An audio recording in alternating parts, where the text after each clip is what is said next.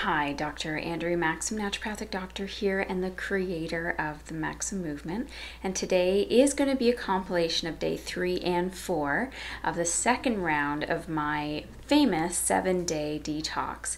Now, yesterday was a really easy day. I found it was very easy to get through the day. I got through my shakes and my food no problem. I actually wasn't all that hungry, but of course, when you get home from work, the first thing you want to do is you want to start eating all the foods you normally would do when you get home. So I was definitely fighting the urge to cheat and um, and the same thing has kind of happened today. I haven't gone home yet from work, but I've been finding my appetite has gotten a lot smaller. I can feel my clothes fitting a lot looser. I actually did my inch measurements today, and they are posted right here so you can see them.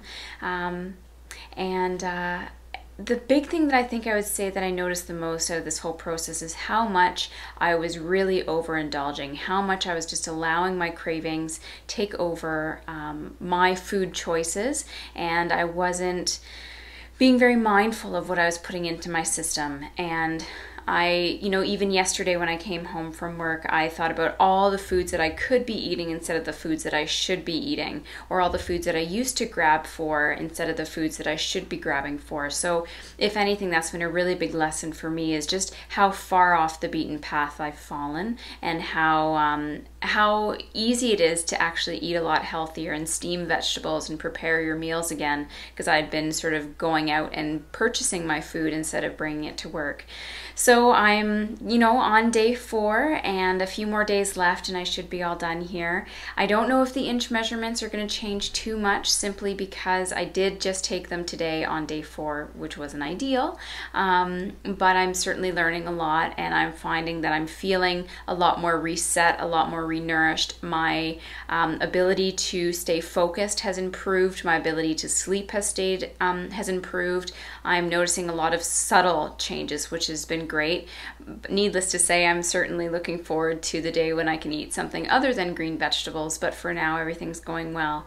Uh, thank you for tuning in, and hopefully, we'll see you tomorrow. I may compile day five and six together as well. We'll see, but please stay tuned and uh, pay attention for any other upcoming videos. Of course, if you want to get a layout on how the seven day detox works, my book is coming out in the next couple weeks. It's called Maximized Health The New Intelligent System for Optimal Digestion and Hormones. My website is also below.